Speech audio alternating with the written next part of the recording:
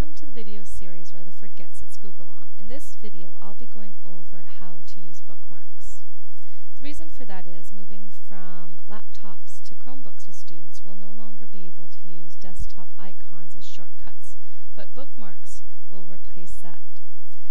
I'm using a laptop with Chrome as a browser right now, so it'll look a little bit different than if you're on a Chromebook, but fairly similar steps. I'm currently signed in to my Edmonton Public Schools account, and as such, I have access to the bookmarks that I've saved under that profile. So you will want to sign in to Chrome if you want to be able to use your bookmarks on the same bookmarks on a Chromebook or on your teacher desktop and at home. So, I want to bookmark this site. How do I do it? Well, first I'm going to go to my Omnibox and I'm going to go across to the right hand side and I'll see a gray or white. And simply to bookmark a page, you click on it. It'll pop up with a default title and it'll ask you where you want to file it. I have some pre-made folders already and I'm just going to put this into my things to file because I'm not sure where I want to put it at the moment. Done. So bookmarking is pretty easy. Click on the star. But how do you find the bookmarks that you've used? Well, there are a few different ways. One way is you can go over to your three lines on the right hand side and click and go to bookmarks. Here you have access to a lot of different things regarding bookmarks. One is all of your bookmarks.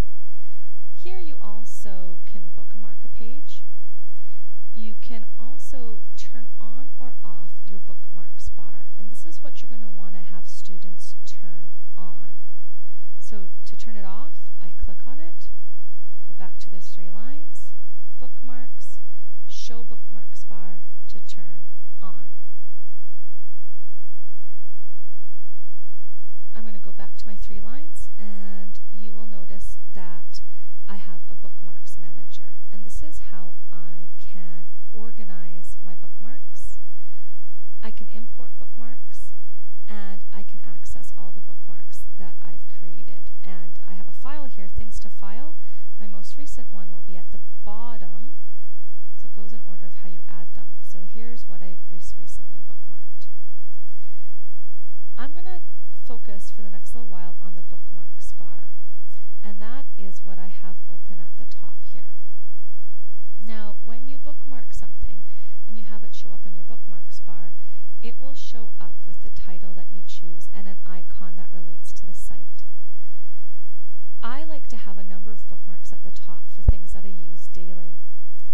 And because I have on a Chromebook a smaller screen, I have a lot of real estate that can be taken up by long words. So I'm going to show you how to shorten or if you want delete all the words for your bookmarks. So for example, if it has a really unique icon like Go Noodle, I don't need to know that's Go Noodle. I don't need the words beside it. If it has an icon that's the same, so for Google Site, I have two icons that are the same. I want to name them so I know which one's which. So I'm going to show you how to add a bookmark to your bookmarks bar. So I've just recently bookmarked the Rutherford Resources page. I want it to be on my bookmarks bar. So to do that, I go back up here to my three lines, go to my bookmarks. I need to have my bookmarks bar open, and now I'm going to go to Bookmarks Manager. And here you'll see a folder called Bookmarks Bar. So I can now organize and rearrange things here. So for instance, I'm going to go to my Things to File, and I'm going to find what I just added, and I'm going to click and drag it to my Bookmarks bar. I can also click and drag it right onto the bar itself, not just the folder. And you will notice that because the name is quite long, it has pushed off a number of the items that I have up here. I can still access them by the double arrow on the right hand side over here. So I can still get at what has been bumped off and if I was using a long, larger screen, those would show up. So at school when I'm working on my big screen, I can see all of these icons. But I can actually shorten this. I know that um, the Rutherford Resources page is called that. It's going to be my only Rutherford page named that. So I'm going to go to my bookmarks bar. I'm going to click on it. I'm going to right click and go edit. Can change the title. I'm going to just call it Rutherford. And now I've shortened it. It's given me more real estate that I can access. Miss Mondor, my class website, I can edit. I'm, it's going to be the only Miss M website up there, so I'm going to change that to Miss M. And I can delete this. I know that this is my kid blog icon. I actually don't need to have any typing all beside it, so I'm going to delete it completely and it's just going to be the icon. So here I have all my bookmark bar resources. If I want to move them around, maybe I want to have my power teacher first to remind me to do my attendance first thing in the morning. I'm going to click and drag and move it up here. So you can move them around. I can also move them around on my bookmarks bar as well. Up here on the left is the quick way to get to that. My bookmarks bar is um, linked as well, and I just have star have it with the star and the BM for bookmarks. So you could um, delete that and just have the star. Okay. So to review, if you want to bookmark something, you go to the Omnibar and you click on it.